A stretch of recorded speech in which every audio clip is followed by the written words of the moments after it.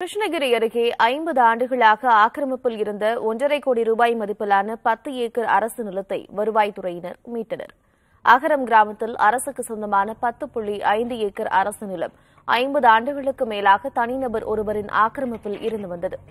அரசு நிலத்தை ஒப்படைக்க கோரி பலமுறை நோட்டீஸ் அனுப்பியும் பதில் கிடைக்காததால் வருவாய்த்துறை தரப்பில் சென்னை உயர்நீதிமன்றத்தில் வழக்கு தொடரப்பட்டது. அதில் தீர்ப்பு வழங்கிய நீதிமன்றம் ஆக்கிரமிப்பு நிலத்தை மீட்டெடுக்க உத்தரவு வழங்கியது. அதன் அடிப்படையில் கிருஷ்ணகிரி வட்டாட்சியர் தலைமையில் வருவாய் ஆய்வாளர் காவல்துறையினர் முன்னிலையில் சம்பந்தப்பட்ட அரசு நிலம் மீட்கப்பட்டது. நிலத்தை சுற்றி அமைக்கப்பட்டிருந்த மின்வேலிகள் அகற்றப்பட்டு அங்கிருந்த வீடுகள் இடிக்கப்பட்டு நிலத்தை வருவாய்த்துறையினர் கையகப்படுத்தினர். தமிழக செஸ் வீராங்கனையும் பிரக்ஞானந்தாவின் சகோதரியுமான வைஷாலி செஸ் கிராண்ட் மாஸ்டர் பட்டம் வென்றுள்ளார்.